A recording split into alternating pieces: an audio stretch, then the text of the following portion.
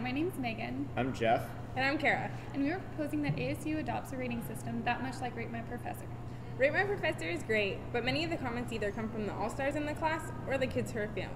So, how can we get a real understanding of what the class is like and how the professor is teaching? Easy, add some more criteria and the user's comments like GPA and major. And of course, the identity of the users will be anonymous. Providing this information allows the students who are reading to gauge the validity and consistency of these comments. This rating system may also be viewed by professors, allowing them to see their strengths and weaknesses and ac- apply them accordingly. President Crow, we need my ASU professor. Thumbs up.